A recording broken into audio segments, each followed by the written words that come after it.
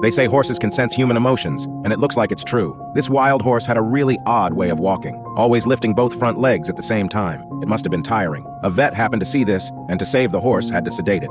It tried to run away but could only hop. The other horses, scared by the noise, quickly scattered. Only one wild horse stayed by its side. Was it a sibling or a mate? Turns out its front legs were bound together with a chain, no wonder it was having such a hard time moving. The chain, tied for so long, had dug deep into its legs, even showing the flesh beneath. Imagine the pain it must have felt every day. Without the chain, it would have freely galloped in the fields. The vet immediately removed the chain and applied some medicine. Without his help, this wild horse wouldn't have survived much longer. Its companion seemed to understand what the humans were doing and even kissed the vet. That's just amazing. The vet's partner carefully positioned the horse's legs to prevent further injury. Soon after, the wild horse stood up. Finally free from its shackles, it could run on the grasslands again. They still worried about the horse's condition, so they followed it for a few hours. It was in great shape, playing happily with its companion. They left feeling reassured.